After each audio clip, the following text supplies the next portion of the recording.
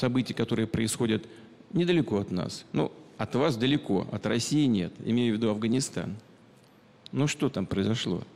20 лет, 20 лет американские войска присутствовали на этой территории и 20 лет пытались, как, ну, можно сказать об этом, никого не обижают, цивилизовывать людей, которые живут там.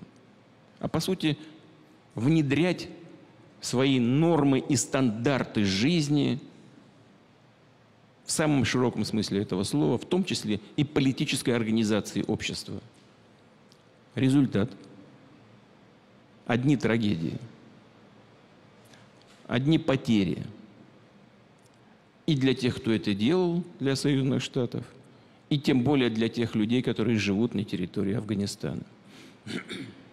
Результат нулевой – если не сказать и минус все пошло. А почему?